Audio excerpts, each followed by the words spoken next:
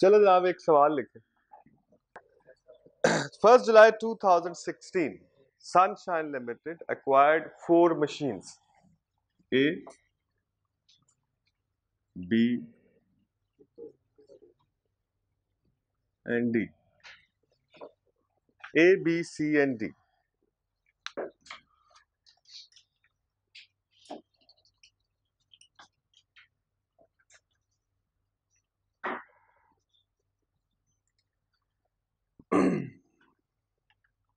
ये कॉस्ट है जनाब टू हंड्रेड इसकी है जी two thirty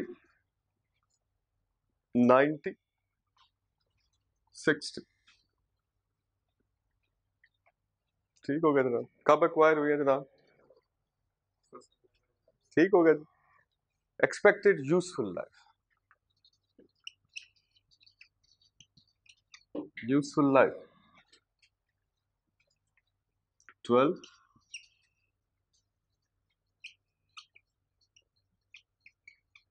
indefinite. 6 and 12.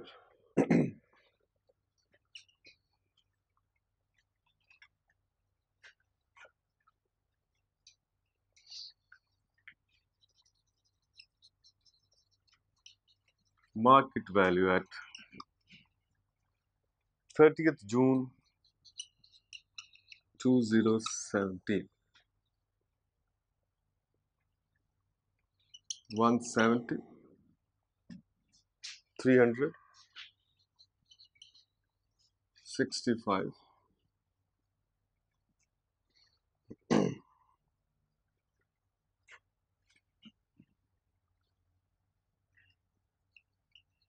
70 SL uses the SL uses the cost model for subsequent measurement of machines. Calculate the impairment loss.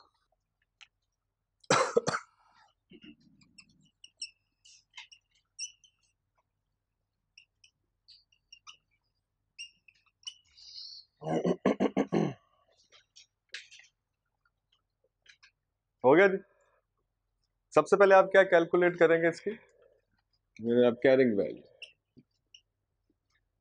carrying value calculate करनी सबसे पहले, हर एसेट नॉर्मली कल तक हमने जितने सवाल किए उसमें कैरिंग वैल्यू गिवन इसमें कैरिंग वैल्यू नहीं है। पहले आप क्या करेंगे? कैरिंग वैल्यू कैलकुलेट करेंगे 30 जून 2017 को। यकम जुलाई 16 को आपने परचेज किया तो उसको एक साल इनको डेप्रिसिएट करके आगे लेकर ठीक? तो इसकी कितनी डेप्रिसिएशन आ जाएगी हाँ? One 183 compare with fair value तो हमारे पास कितना लॉस आ गया? थर्टीन का लॉस आ गया। इम्पेयरमेंट लॉस थर्टीन अब इसमें वैल्यू इन यूज़ नहीं है। इसके बाद जब वैल्यू इन यूज़ नहीं है तो रिकवरेबल वैल्यू क्या होगी फेयर वैल्यू ठीक हो गया। इसके बाद यहाँ पर कितनी आएगी? बी में इसकी यूजफुल लाइफ है इनडेफिनेट तो ये इनडेफिनेट क्या है? तो हमने कल बात की, मैंने आपको बताया कि देर इज़ एक्सेप्शन नॉर्मली हम इम्पेयरमेंट के लिए एसिड को कब टेस्ट करते हैं? व्हेन देर इज़ इंडिकेटर्स लेकिन हमने कहा जनाब देर आर सर्टन एसिड्स जिसको आपने हर साल इम्पेयरमेंट के लिए टेस्ट करना ही करना चाहे उनकी इंडिकेटर्स हो या ना हो। उनमें से एक एक्सेप्शन जो है वो गुडविल है और दूसरा ऐसे एसेट्स जिनकी लाइफ इनडेफिनेट इसका मतलब ये जो बी है, ये ज़रूर क्या है? ये एक इनटेंजिबल एसेट क्योंकि टेंजिबल एसेट में लाइफ डेफिनेट ही होती है इनडेफिनेट नहीं होती। तो अब इसको क्या करेंगे? इसको हम सिंपली कंपेयर करेंगे, इसको डेप्रिसिएट नहीं करते। जिनकी लाइफ इनडेफिनेट होती है, उनको हम डेप्रिसिएट नहीं करते। हर साल के एंड पे हम उसकी फेयर वैल्यू को, उसकी कैरिंग वैल्यू के साथ कंपेयर करेंगे तो यहाँ पे हम जब कंपेयर करते तो कितना फ़र्क आ जाता है? ठीक? तो हम देखते हैं जनाब, इसकी रिकवरेबल वैल्यू जो है is already greater than the carrying value there is no impairment on that लेकिन ये बात हमने याद रखनी है कि ऐसे इंटेंजिबल जिनकी लाइफ इनडेफिनेट होगी, उनको हमने हर ईयर एंड पे इम्पेयरमेंट के लिए टेस्ट करना है whether there are indicator or not see को देखें सी की कितनी वैल्यू आती? है जी? इसका मतलब है, इसकी कैरिंग वैल्यू ज़्यादा है, इसकी फेयर वैल्यू से। तो कितने का फ़र्क आ गया? तो हम कहते हैं यहाँ पे लॉस आ गया टेन और इसको अगर आप देखें तो इसकी fair value is greater than the carrying value so there is no impairment समझ आ गई बात? क्लियर तो बड़ा सादा सा सवाल इसमें हमने एक चीज़ इंट्रोड्यूस कराई दैट इज़ इनडेफिनेट एसेट्स सही हो गया। अब इसी डाटा को आप यूज़ करेंगे। कर ले पहले नोट थोड़ा सा इसको और चेंज कर।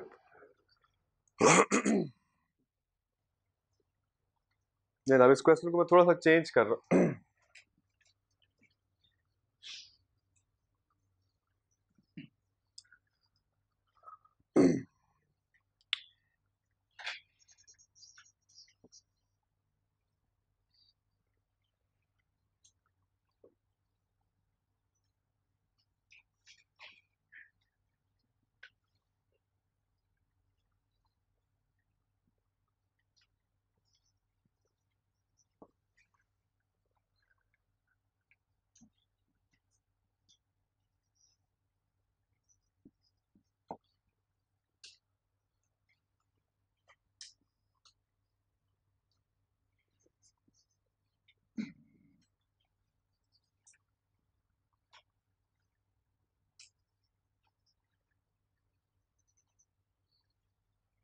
लेगा अब एक चेंज करेंगे हम सवाल में। हमने पहले लिखा entity use the cost model हम लिखेंगे जनाब entity use revaluation model entity जो है, वो एसेट्स को मेजर करती है रीवैल्यूएशन मॉडल को।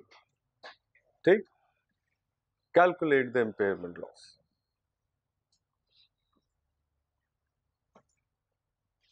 entity uses revaluation model Now calculate the impairment loss once again.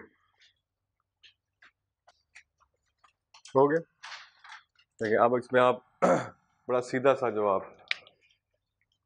काम है इसमें वो ये है फॉर एग्जांपल मैं पहले एसेट ए की अगर बात करूँ तो आपका ईयर एंड पे इसकी value under I sixteen revaluation model क्या होगी? 195 182 तो नहीं होगा। क्योंकि आप रीवैल्यूएशन मॉडल जब यूज़ कर रहे हैं, पहले आप उसको डेप्रिसिएट करेंगे। उसकी आएगी वैल्यू 183 फिर आप उसने चूँकि आप रीवैल्यूएशन मॉडल यूज़ कर रहे हैं तो आप उसको ईयर एंड पे क्या करेंगे? रीवैल्यू करेंगे। रीवैल्यू करके किस वैल्यू पे लेके जाएँगे? जो उसकी फेयर वैल्यू दैट इज़ 195 इसका मतलब है इसकी बैलेंस शीट में वैल्यू कितनी है? 195 अब इसकी रिकवरेबल अमाउंट क्या है?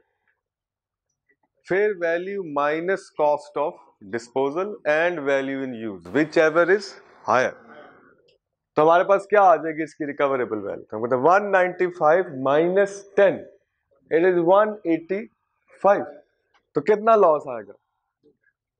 इट्स टेन इसका मतलब अगर एंटिटी रीवैल्यूएशन मॉडल यूज़ कर रही हो तो उसका पॉसिबल इंपेयरमेंट लॉस जो होता है, वो हमेशा क्या होता है? कॉस्ट ऑफ़ डिस्पोजल होता है।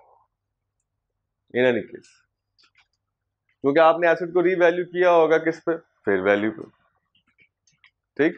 फेयर वैल्यू पे किया होगा या उसकी वैल्यू जो भी उसकी हायर अमाउंट है, आपने उसको रीवैल्यू कर लिया। आई सिक्सटीन तो यही कहता है ना, आप उसको वैल्यू कर लें जो उसकी वैल्यू है ये रेंट पे। आपने उसको 195 पे ले अब अगर हम आई थर्टी सिक्स सप्लाई ना करें तो ये बुक्स में किस पे है? 195 पे। इफ़ देर आर इंडिकेटर्स कि इंपेयरमेंट हुई है तो अब आप क्या करेंगे मैक्सिमम आप इस 195 को कंपेयर करेंगे with the recoverable value as per I thirty six thirty six क्या कहता है? क्या होती है value it is the higher of fair value minus cost to sell and value in use assuming के वैल्यू इन यूज़ हम इसमें नहीं इनकॉपरेट कर रहे।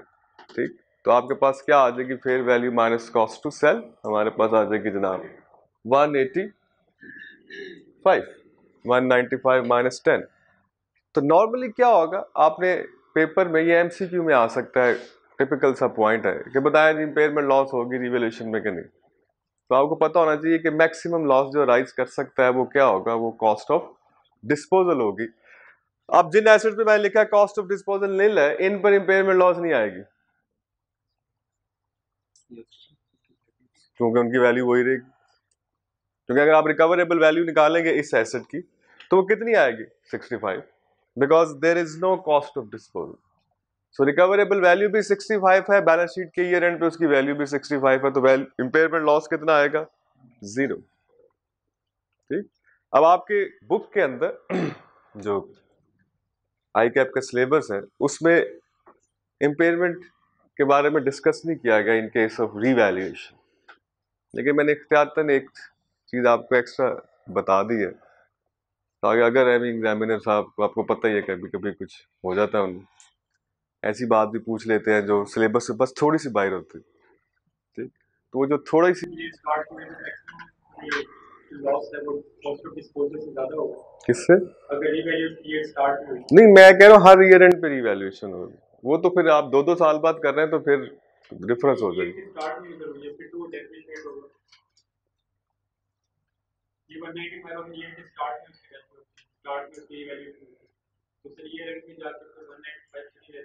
तो फिर इम्पेयरमेंट हम रिकवरेबल वैल्यू भी तो फिर वैल्यू भी तो ईयर एंड वाली लेंगे ना फिर। रिवैल्यूएशन तो हर ईयर एंड पे हो रही होगी, फिर पहले हम उसको फेयर वैल्यू पे लेकर आएँगे। फिर हम कंपेयर करेंगे उसकी रिकवरेबल वैल्यू तो somehow in any case the loss will be restricted up to the cost of disposal अगर किसी एसेट की डिस्पोजल कॉस्ट है और आप रिवेल्यूशन मॉडल यूज़ कर रहे हैं तो मैक्सिमम इंपेयरमेंट लॉस क्या आने वाला है? द कॉस्ट ऑफ़ डिस्पोजल अगर उस एसेट की डिस्पोजल कॉस्ट नहीं है तो there is no impairment loss in case of revaluation model ठीक? मोस्ट ऑफ़ द टाइम ले जरा। ये था जी हमारे पास we were discussing I S thirty six impairment loss अब आप इस पूरे स्टैंडर्ड को देखें। लेकिन अब ये इतना ही है I S thirty six recent attempt में इसमें से जो क्वेश्चन आया, वो एक दो एमसीक्यूज थे जो पूछे गए। और एक आई सिक्सटीन के सवाल में एक एसिड को इम्पेयर कर दिया गया था। बस ये तीन बातें जो है वो पेपर में आई थी इस स्टैंड में तो वी आर एक्सपेक्टिंग कि इसी तरह का शायद आए, लेकिन एहतियातन हमने थोड़े डिटेल वाले सवाल भी कर लिए हैं, ताकि अगर उस तरह का भी सवाल आए तो वो आप हैंडल कर सकें।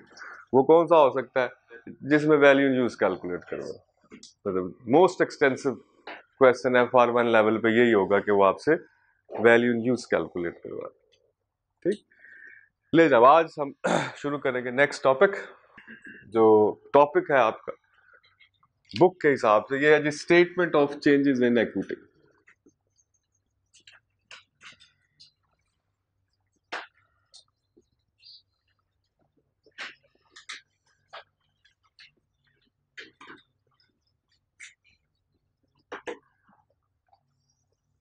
statement of changes in equity recent ad में छह नंबर का सवाल आया इसमें six marks prepare the statement of changes in equity ठीक? अब जब इससे पहले चलते हैं, हम बैकग्राउंड में, कि ये क्या टॉपिक है, इसका बैकग्राउंड क्या है, ये कहाँ से है I S one presentation of financial statement लेकिन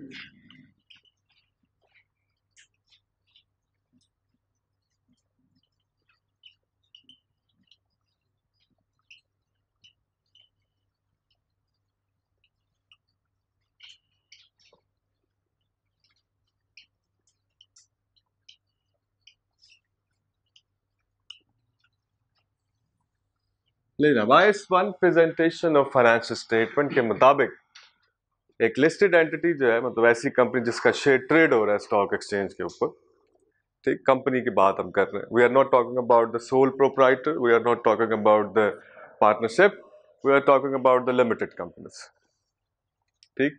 हम सबको पता है कि limited companies means the business setup जिसको आप इनकॉपरेट कराते हैं अंडर द कंपनी लॉ ऐसे ही।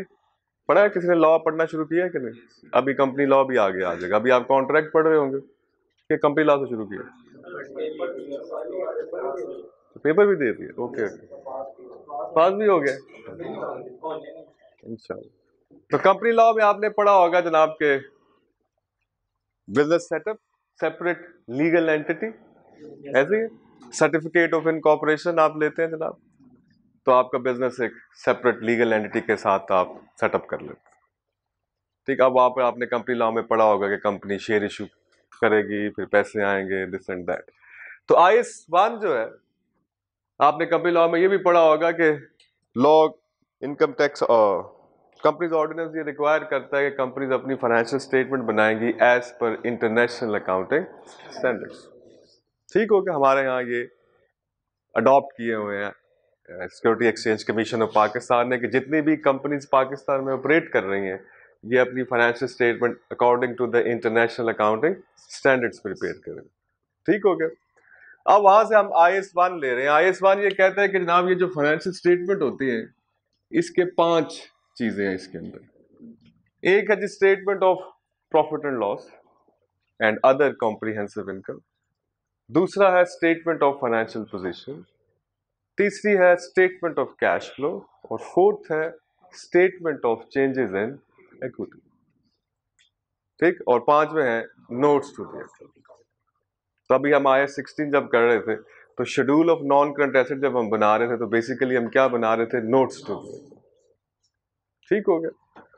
अब आपको प्रॉफिट एंड लॉस जो है कंपनी का, आपने देखा होगा जनाब, इसका फॉर्मेट जो है वो एज पर आई एस वन हम सबको शायद पता है। Statement of profit loss and other comprehensive income and other comprehensive income. ये इसका हेडर है। इससे पहले कंपनी का नाम होगा। A B and company for फिर for the year ending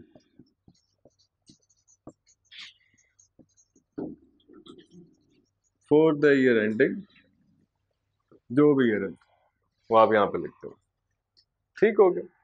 अब इसका एक प्रॉपर फॉर्मेट इसलिए ज़रूरी है कि आई एस वन कह रहा जी आपने जो प्रेजेंटेशन है यूज़र्स को जो इंफॉर्मेशन जब आपने देनी है, उसको एक ख़ास लेआउट में देनी ताकि वो अंडरस्टैंड कर सके।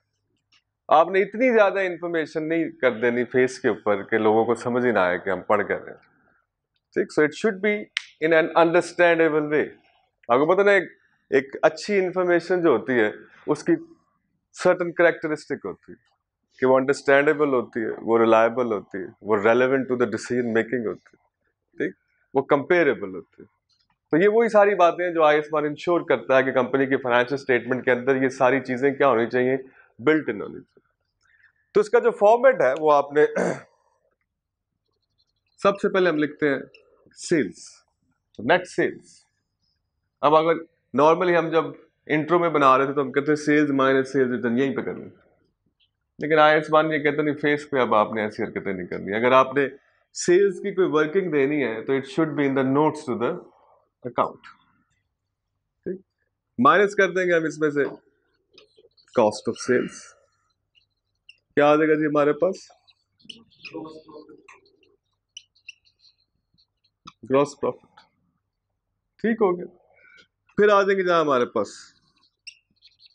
If there are any other income then हम लिखेंगे जनाब administrative expenses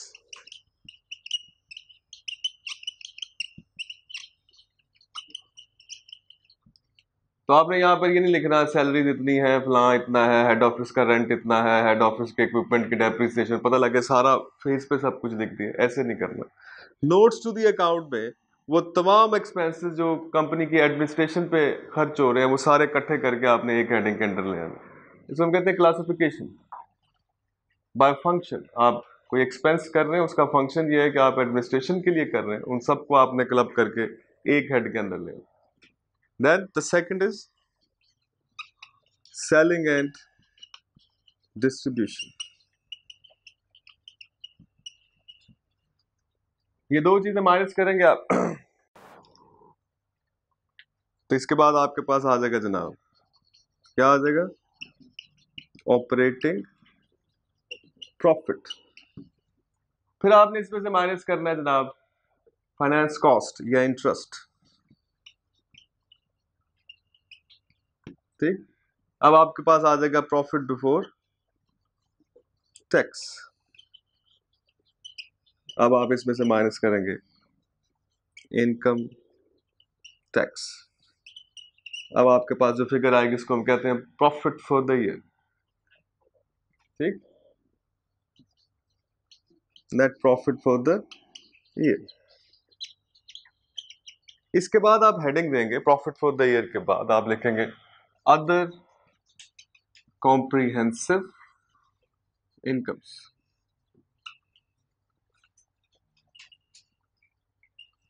other comprehensive income इसमें आप फार वन तक जब अभी हमने पढ़ा उसमें एक ही चीज़ अभी तक आती है और वो है revaluation of non current assets कि जो भी आपने आई सिक्सटीन में रीवैल्यूएशन पढ़ी है, अगर ड्यूरिंग द ईयर आप रीवैल्यूएशन करेंगे तो वो आपने अदर कॉम्प्रीहेंसिव इनकम में रिपोर्ट कर। अब profit for the year plus other comprehensive income तो हम लिखेंगे टोटल कॉम्प्रीहेंसिव इनकम ये जी पूरे साल की कंपनी की टोटल कॉम्प्रीहेंसिव इनकम आ गई। The format of statement of profit and loss इसको इस तरह प्रेजेंट करना है हम। जब पेपर में सवाल आएगा prepare the financial statement of a company as per I one तो इसका मतलब हमारे पी एंड एल का लेआउट इस तरह से हो इसी तरह प्रेजेंट करना। इसके बाद हमारे पास दूसरा डॉक्यूमेंट है एस जिससे हम बड़ी अच्छी तरह वाकिफ हैं। मेरा ख्याल में वो मुझे बनाने की ज़रूरत नहीं है। सबसे पहले क्या आता है जी? एसेट्स एसेट्स में सबसे पहले क्या आते हैं? नॉन करंट फिर उसके बाद करंट एसेट्स फिर आता है जी इक्विटी फिर आता है नॉन करंट लाइबिलिटीज और फिर है करंट लाइबिलिटी ऐसे ही। अब ये जो statement of changes in equity है, ये बेसिकली बैलेंस शीट में जो इक्विटी सेक्शन है, उसकी फर्दर डिटेल है। कि पूरे साल में इक्विटी के अंदर क्या चेंजेस आए? मूवमेंट इन इक्विटी के बारे में इंफॉर्मेशन कि पिछला साल जब खत्म हुआ या ये साल जब शुरू हुआ तो उस वक्त इक्विटी की क्या अमाउंट थी? ड्यूरिंग द ईयर हमने क्या क्या? ट्रांजेक्शन की. In with in the equity और अब क्लोजिंग बैलेंसेस ये. सो so, बिल्कुल उसी तरह जैसे हम नॉन करंट एसेट का शेड्यूल बना रहे थे इसी तरह हम मूवमेंट इन इक्विटी बनाते हैं. Statement of changes in equity will give an information to the user कि बिज़नेस की, यानी कि कंपनी की इक्विटी में ड्यूरिंग द ईयर क्या क्या चेंजेस आए? ठीक? अब नॉर्मली एफ़ आर वन के अंदर जब हम statement of change in equity को देखते हैं तो इसमें जनाब जो हमें कॉलम्स नज़र आते हैं, सबसे पहले हमें कॉलम नज़र आएगा। That is share capital number one is share capital अब हम सबको पता है जनाब कंपनी ला माशाल्लाह, सारों ने पढ़ लिया वो। तो शेयर कैपिटल क्या होता है? What is a share capital तो हम कहते हैं share capital means share share is a certificate of investment in the company जब हम कहते हैं शेयर क्या है तो हम कहते हैं it is a document which shows the residual interest in the assets of an entity after deducting all the liabilities share की डेफिनेशन करें जी, क्या होता है? व्हाट इज़ अ शेयर तो हम कहते हैं जी शेयर जो है एक सर्टिफिकेट है पेपर है, ठीक? और एक ऐसा सर्टिफिकेट है जो इस बात का सबूत है कि आपकी कंपनी के एसेट्स में इन्वेस्टमेंट है, या आप ओनर हैं कंपनी के एसेट्स के, लेकिन किन एसेट्स के? जब हम तमाम लाइबिलिटीज एसेट में से माइनस करते हैं तो जो बाकी एसेट्स बचते हैं, उनके आप मालिक हैं, क्योंकि बाकियों के मालिक तो क्रेडिटर्स हैं।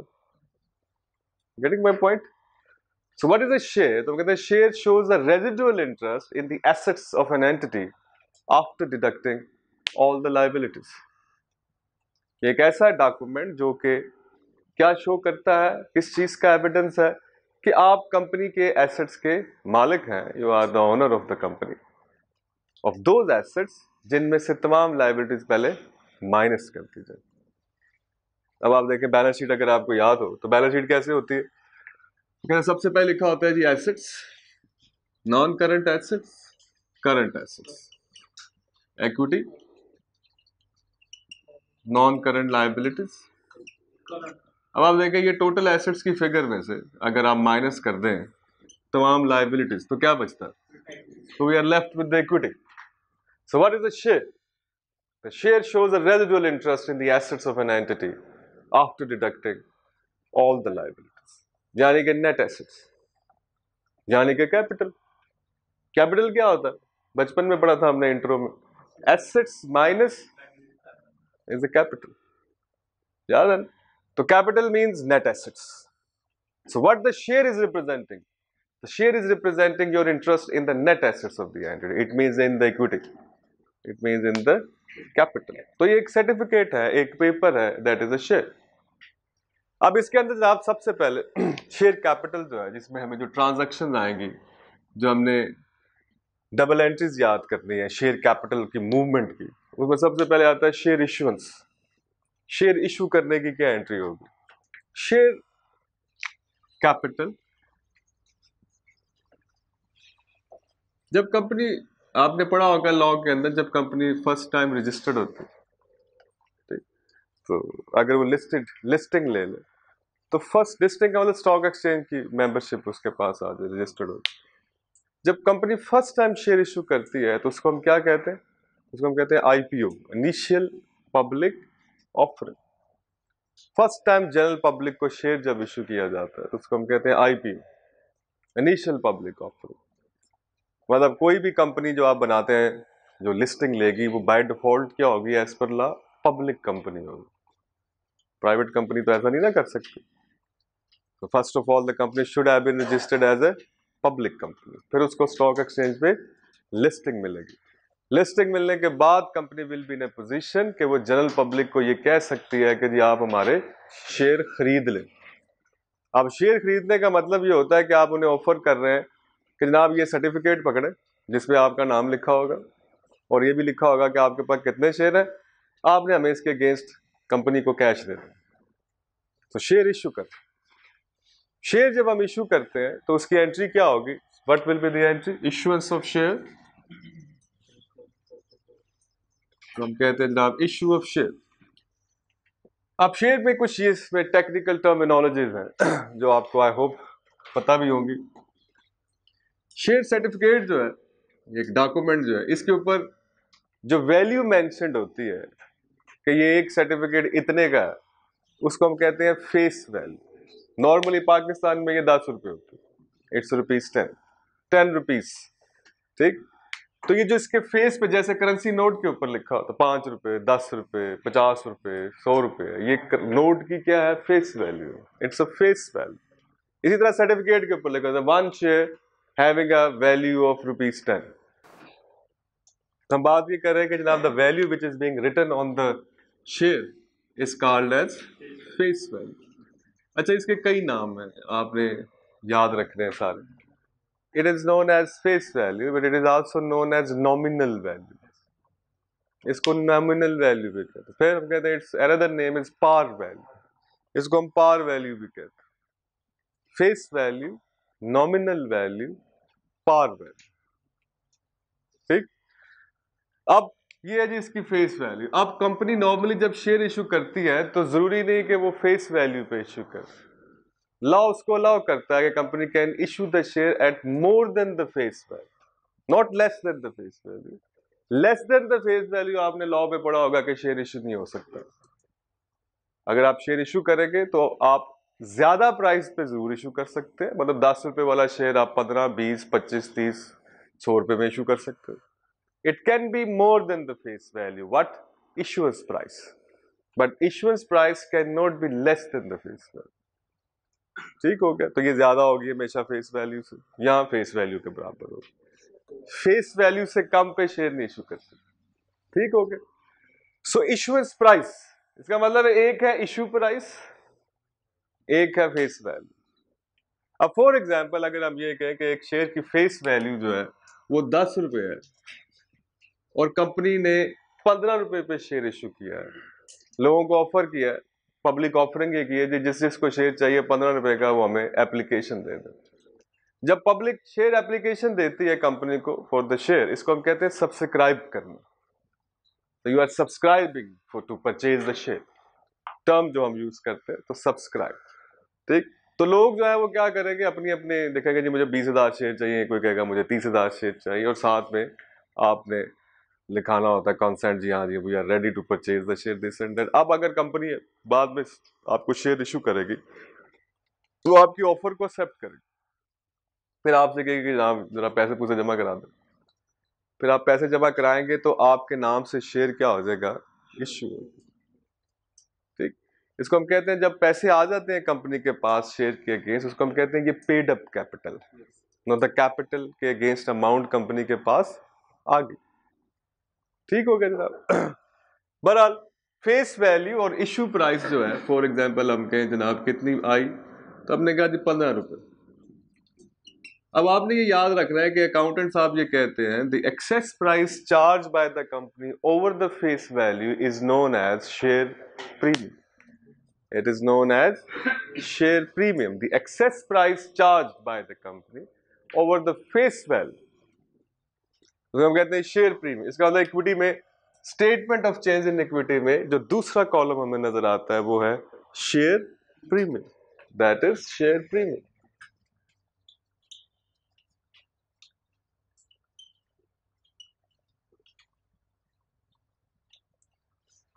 share premium is the second column in the statement of changes in equity सही हो गया? अच्छा अब अगर मैं आपसे कहूँ what will be the entry for the issuance of share तो आप कहेंगे कैश अकाउंट डेबिट या आपको कहना चाहिए कि पंद्रह रुपए का कैश इन हुआ बिज़नेस में so cash account debit with fifty to share capital अब आपने ये हमेशा याद रखना है आज के बाद सारी ज़िंदगी कि share capital is always credit with face value share capital हमेशा face value of the share से क्रेडिट होगा ये याद रखनी बात। ठीक?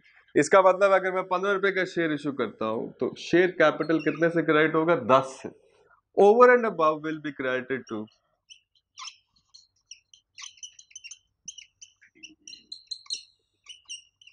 share premium account company जितनी भी प्राइस चार्ज करेगी in excess of the face value उसका क्रेडिट आपने किसको देना है? Share premium account. Cash account debit with 15 to share capital, to share premium. अब हम कहते हैं शेयर प्रीमियम में क्या अमाउंट जा रही है? तो हम कहते हैं difference between the issue price and the face value face value और इश्यू प्राइस का जो डिफरेंस है, वो शेयर प्रीमियम अकाउंट में जाएगा। हमेशा यही होगी। ठीक? अच्छा अब कंपनी ने फ़र्स्ट टाइम शेयर इशू कर दिए अब जनाब इसके बाद जब भी कंपनी शेयर इशू करेगी वन एवर तो लॉ ये कहता है कि जनाब द रूल इज़ कि सबसे पहले आप ऑफ़र करेंगे एग्जिस्टिंग शेयर होल्डर को। अगर वो नहीं लेंगे तो फिर आप जनरल पब्लिक को देंगे ठीक? इसको हम कहते हैं राइट इश्यू ठीक? ये अभी आपने कंपनी लॉ में पढ़ा होगा। That is a preemption right of the existing shareholder company law ने राइट देता है कि जनाब जब whenever the company is going to issue the new share सबसे पहले उसको किसको ऑफ़र करनी चाहिए? एग्जिस्टिंग शेयर होल्डर्स को। ठीक? तो अगर तो वो इनकार करते हैं कि नहीं जी, हमें नहीं चाहिए तो फिर आप जनरल पब्लिक को दे सकते ठीक? तो उसके बाद शेयर जब इशू होते हैं तो नॉर्मली राइट इशू में होता तो उसमें भी होता क्या कि कंपनी की मार्केट में फॉर एग्ज़ाम्पल प्राइस जा रही है बीस डॉ बीस रुपए।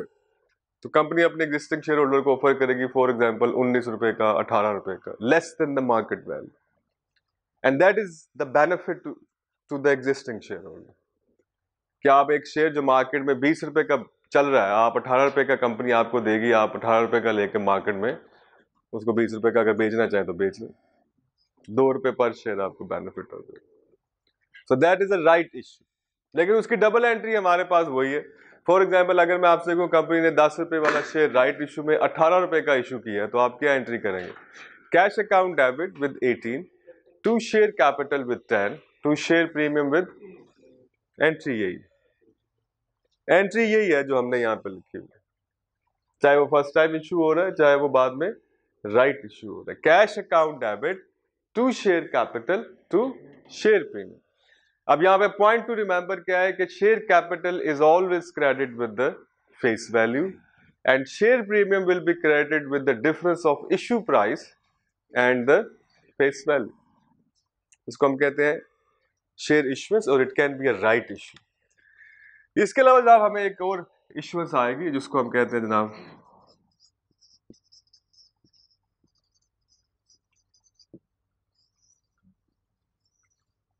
called as bonus issue. Bonus issue. अब ये क्या होता है जी बोनस इशू क्या होता है? कंपनी जो है, वो अपने एग्जिस्टिंग शेयर होल्डर को शेयर इशू करेगी और उनसे कोई पैसे नहीं लेगी। Free of cost share issue कर दिया जाएगा। फ्री ऑफ़ कॉस्ट शेयर जो है, वो इशू कर दिया जाएगा। ठीक? फॉर एग्ज़ाम्पल आपसे अगर मैं ये कहूँ कि कंपनी है अकाउंटिंग ये स्टार्ट हुआ। उसके पास शेयर है जनाब। कोई टोटल इश्यूड शेयर है। एक lakh. At the start of the year one hundred thousand share at the rate of ten each share capital में कितनी अमाउंट आ रही होगी? At the rate of rupees ten each, एक लाख शेयर और एक शेयर की फेस वैल्यू है दस। तो शेयर कैपिटल में कितना आ रहा होगा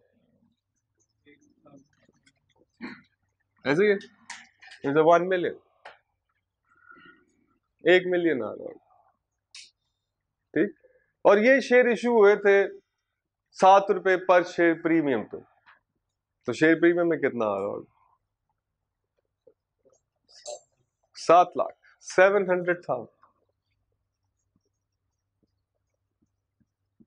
क्या डबल एंट्री हुई होगी? तो हमने कहा डबल एंट्री होगी, कैश अकाउंट डेबिट सत्रह लाख, टू शेयर कैपिटल दस लाख, टू शेयर प्रीमियम सात लाख। जब भी ये इशू हुए थे, पिछले साल जब ठीक हो गया तो। हो गया जी एंट्री क्लियर अब हम कहते हैं जी कंपनी ने इस साल डिसाइड ये किया है मैनेजमेंट ने कि शेयर होल्डर को बोनस इश्यू दिया जाए bonus issue to the shareholder ठीक हो गया तो कितने से जनाब? तो कहते हैं कहा जी, पच्चीस percent bonus issue twenty five percent bonus issue होगा तो बोनस इशू में सबसे पहले आपने ये देखना होता है कि बोनस इशू में शेयर कितने इशू होंगे।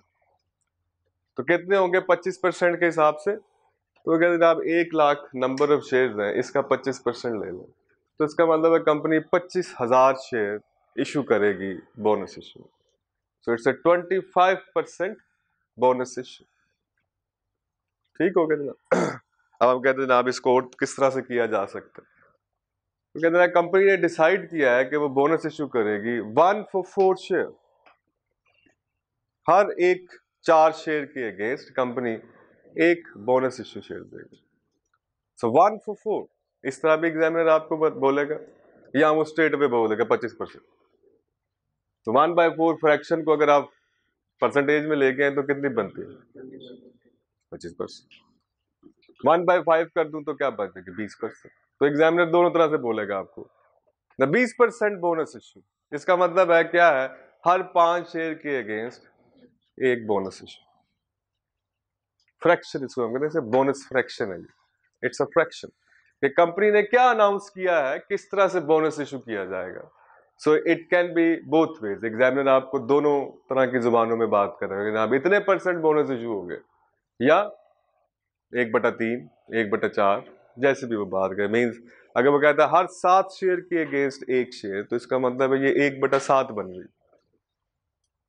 समझ आ रही बात? अब यहाँ पे हम कहते हैं जी पच्चीस परसेंट बोनस इशू कर दिया।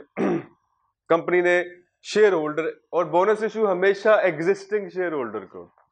जिनके पास ऑलरेडी शेयर उन्हीं को शेयर मिलेंगे और फ्री ऑफ़ कॉस्ट मिलेंगे। ठीक? अब कंपनी कितने शेयर इशू कर रही है जी? बोनस इशू में तो हम कहते हैं पच्चीस हज़ार। ठीक? कितने का एक शेयर है? दस रुपए तो इसका मतलब अगर मैं इसकी एंट्री करूँ तो एक बात तो क्लियर हो गई कि टू शेयर कैपिटल कितने से? पच्चीस हज़ार इन टू रुपीज़ टेन दस रुपए का एक शेयर और पच्चीस हज़ार शेयर है तो इसका मतलब है शेयर कैपिटल कितने से क्रेडिट हो गए? दो लाख पचास हज़ार। आप जेन में अकाउंटेंट साहब बैठे ये सोच रहे हैं तो आया तो कुछ भी नहीं। डेबिट किसको कहते हम कहते हैं share premium will be debit एक अकाउंट ये है हमारे पास, जिसको हम पॉसिबल जिसको हम डेबिट कर सकते हैं। There will be another account and that is retained ठीक? अभी हमने चूँकि रिटेन अर्निंग इंट्रोड्यूस नहीं कराया तो share premium account debit share capital account credit that is the entry for the bonus issue share premium account debit अब हमें पता है कि ये शेयर प्रीमियम में जो पैसे पड़े हैं, ये किधर से आए थे? ये भी शेयर होल्डर नहीं दिए थे ना प्रीवियसली आपने उनसे एक्स्ट्रा अमाउंट ले ली थी।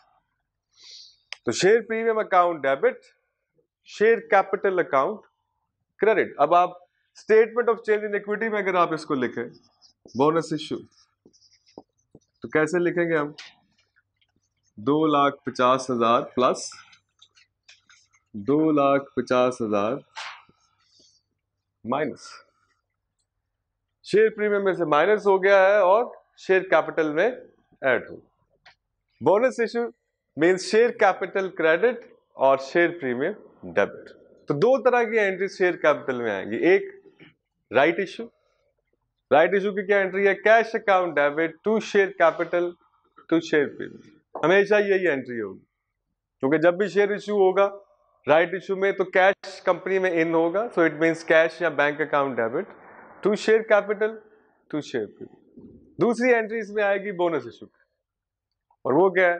शेयर प्रीमियम या retained earning debit to share capital इसमें हमेशा ये एंट्री फेस वैल्यू के साथ होगी not more than the face value ये याद रखना है रूल बोनस इशू में पैसे वैसे कोई नहीं आने आपके पास ठीक हो गया इसके बाद आप statement of change in equity में there is a third column and that is वो हमारा जाना पहचाना है हमने उस पर काफ़ी काम किया and that is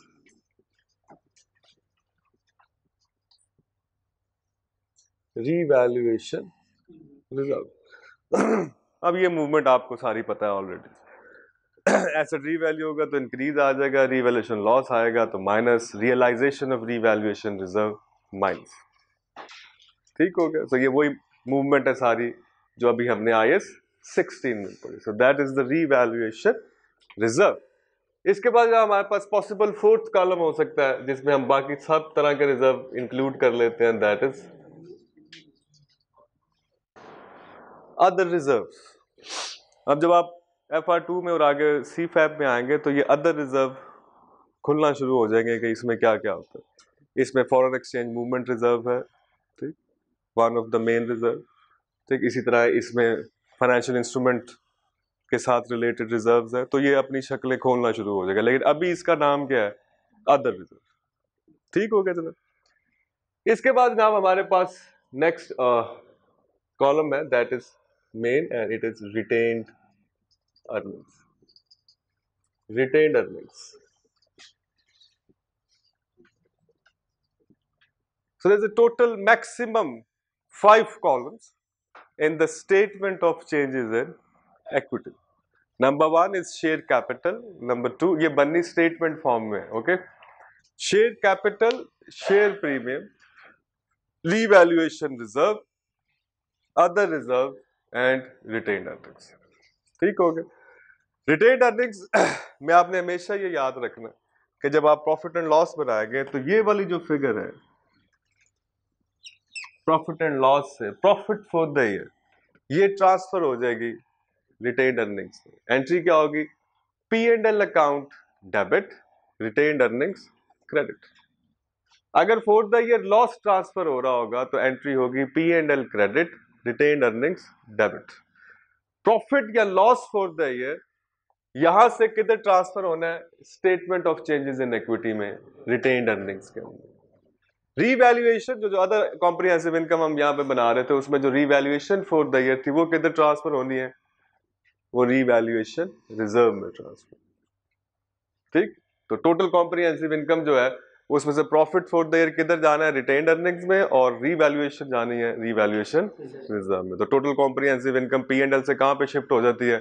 Statement of changes in equity so it's being transfer export कर देते हैं हम उसको पी एंड एल से to the statement of changes in equity ठीक?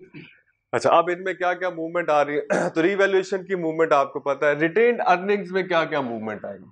तो सबसे पहली मूवमेंट है इसमें प्रॉफिट फॉर द ईयर या लॉस फॉर द ईयर तो प्रॉफिट फॉर द ईयर को क्या करेंगे हम? Profit oblique loss for the year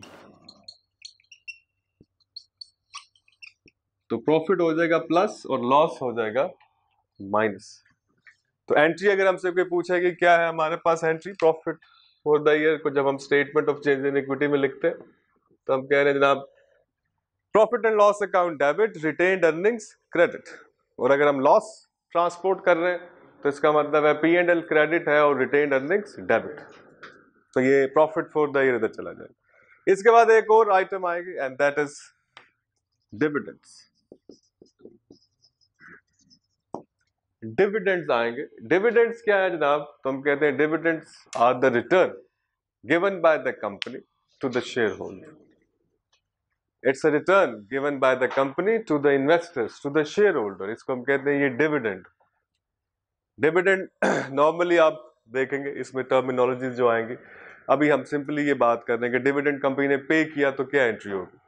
तो जब कंपनी डिविडेंड पे करेगी तो एंट्री करेगी dividend account debit to cash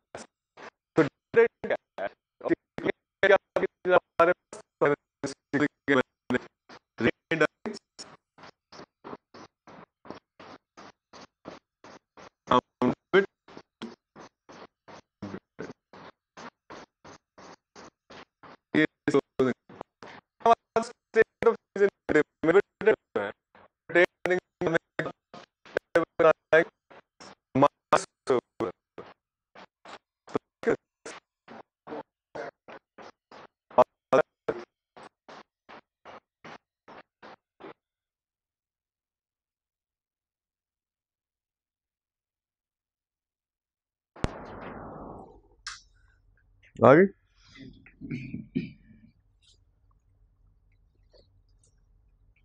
तो बाकी सारी आवाज़ आई नहीं होनी मतलब बाँध देंगे आई अच्छा जनाब तो डिविडेंड जो है वो हमारे पास, हमने क्या लिखा जी? Statement of change in equity में रिटेन अर्निंग में से माइनस हो गई ठीक। अच्छा कभी कभी एग्जामिनर साहब क्या कहेंगे? The company has issued the bonus share as a dividend ऐसे भी कह सके तो कंपनी ने इस साल सोचा है कैश नहीं देना हमने। तो हमने सोचा है कि शेयर होल्डर को हम शेयर ही दे देते हैं एज अ डिविडेंड तो शेयर होल्डर को हम फ्री ऑफ़ कॉस्ट शेयर देंगे मार्केट में जाके बेच के कैश रियलाइज़ कर लो।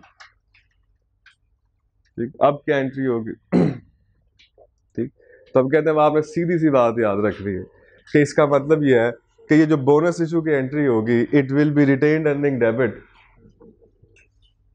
इसका मतलब ये है। वो ये कह देगा कि जनाब कंपनी ये क्या सोच रही है मैनेजमेंट कि इस दफ़ा हम डिविडेंड में कंपनी शेयर होल्डर को फ्री ऑफ़ कॉस्ट शेयर देने जा रही है, यानी कि बोनस इशू कर देगी तो इसका स्ट्रेट वे मीनिंग एग्जामिनर आपको ये कह रहा है कि भाई एंट्री बनेगी retained earnings debit to share capital credit तो ये डिविडेंड वहाँ से चला जाएगा। सही? तो ये हमारे पास आगे जनाब डिविडेंड डिविडेंड्स पे थोड़ी सी और बात भी करेंगे, लेकिन वो हम जब क्वेश्चन हमारे सामने होगा तो हमें ज़्यादा बात समझ आएगी. अदरवाइज़ अभी मैं आपको बताऊँगा भी तो आपने कहना पता नहीं की कह रहे हैं. ठीक? तो वो क्वेश्चन में जब आप पढ़ेंगे, सामने देखेंगे, फिर उसको डिस्कस करेंगे तो हमें ज़्यादा समझ आएगी उसकी डिविडेंड क्योंकि इसमें आगे दो तीन टर्म्स और आएँगे. अब जनाब जब आप ये सारी चीज़ें कर लेंगे रीवैल्यूशन की मूवमेंट मैंने यहाँ पे नहीं लिखी. वो आपको ऑलरेडी पता है. एक और ट्रांजैक्शन इसमें आ सकती है पॉसिबल और वो है transfers transfers means from one reserve to an other reserve जैसे एग्जामिनर साहब आपको कह देंगे, जनाब the company transferred फ्ला amount from retain earning to other reserve retain earning में से माइनस कर देंगे अदर रिज़र्व में ऐड कर देंगे. ट्रांसफर्स ठीक हो गया। अब जनाब इसके बाद जब आप सारी चीज़ें लिख लेंगे तो what we will have at the end of the year वही पुराना rule this plus this minus this फला फला क्लोजिंग बैलेंस क्लोजिंग बैलेंस सबके क्लोजिंग बैलेंसेस आपके पास आ जाएँगे। और इनके क्लोजिंग बैलेंस हम कहाँ पर रिपोर्ट कर रहे होते हैं? एस में स्टेटमेंट ऑफ़ फाइनेंशियल पोजिशन में एक्विटी का जो सेक्शन है, उसके अंदर हम इनके क्लोजिंग बैलेंसेस लिख रहे होते हैं। तो statement of change in equity हमें क्या बता रही है? The movement in equity over the year पूरे साल में इक्विटी में क्या मूवमेंट आई, वो हमें ये रिपोर्ट कर ठीक? So that is the statement of change in equity इसमें अब हम सवाल करेंगे तो फर्दर हमारी क्लैरिटी आएगी। लेकिन this is the basic fundamental concept यही है statement of change in equity का। अब आपको पता है कि सवाल के जो ट्विस्ट होते हैं, वो सवाल में ही हैंडल होते हैं। बाकी बेसिक नॉलेज जो है वो यही है। जनाब ये हमारे पास जो टॉपिक स्टेट चीज़ इन इक्विटी मंडे को हम इसके क्वेश्चन प्रैक्टिस जो है वो करेंगे, ठीक? तो तीन चार सवाल जो है, जो रिसेंट टाइम का है, वो करेंगे और इसके अलावा पुराने कुछ सवाल वो करेंगे ताकि हमें ये फर्दर डॉक्यूमेंट जो है वो बनाना आ जाए इसके बारे में आप ये याद रखें कि ये पाँच छः नंबर ज़रूर इसमें से आएँगे, जो उसने पूछना ज़रूर है पाँच छः चार, पाँच नंबर ज़रूर पूछे। मतलब बहुत ज़्यादा मार्क्स नहीं है इसके, जैसे आई एस सिक्सटीन के बारे में हम कह रहे हैं कि इट्स अ हैवी स्टैंडर्ड लेकिन यहाँ पर ये ज़रूर हम कह सकते हैं कि पाँच छः आ ही जाएँगे। मेहरबानी कर दी उसने तो पूछ ही रही relatively very easy topic very simple and straight क्योंकि इसमें रीवैल्यूएशन रिज़र्व तो सारा आई एस सिक्सटीन है। उसी की मूवमेंट है सारी जो दोबारा आप यहाँ पे लिख रहे हो। तो जब वो statement of change in equity का सवाल पूछता है तो उसमें रीवैल्यूएशन नहीं पूछता, क्योंकि वो उसने सारी कहाँ पे टेस्ट करनी होती है? आई सिक्सटीन यहाँ पे वो आपसे पूछेगा शेयर कैपिटल और शेयर प्रीमियम की मूवमेंट और रिटेन अर्निंग की मूवमेंट जिसमें एक चीज़ वो हमेशा डालेगा बोनस इशू एंड डिविडेंड दो चीज़ें होंगी इसके ठीक। तो ये आपने एक डॉक्यूमेंट इसको ज़रा प्रेजेंटेशन इसकी बस अच्छी होनी चाहिए। बाकी आप इसको वहाँ पे टी अकाउंट बना के ना रखाइएगा, फिर सारा ख़राब हो जाएगा। ले जनाब।